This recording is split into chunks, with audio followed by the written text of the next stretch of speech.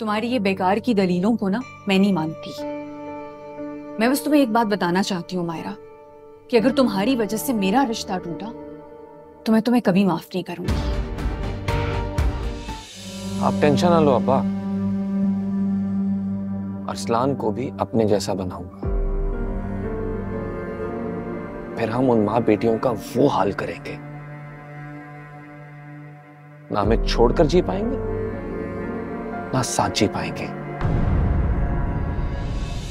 लेकिन ऐसा नमल यह है कि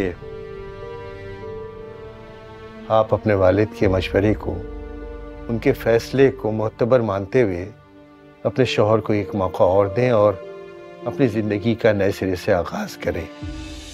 और तुझे मना किया था ना? मना किया था ना कि है मेरी बीवी से? कहा था ना दूर है जान ले लूँगा मैं तेरी। जान ले लूँगा मैं तेरी। अबे हट तू। चुप कर